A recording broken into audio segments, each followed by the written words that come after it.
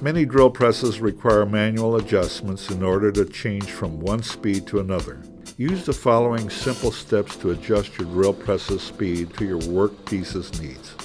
In this example, we will demonstrate using the Wen 8-inch 5-speed drill press.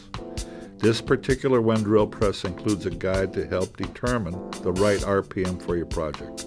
For safety purposes, unplug your drill press from the wall before you get started.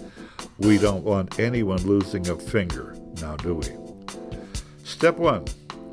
Open your drill press and loosen the belt using the knob and latch located on the side of the drill press. Once the motor has shifted backwards, the belt will be loose enough to move around.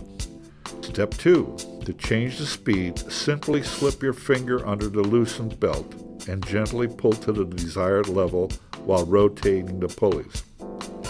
Step 3. After the belt has been put into place, use the side knob and latch to secure the motor and tighten the belt. Make sure to close the lid before plugging the machine back in. And that's how you manually adjust your drill press to the correct speed.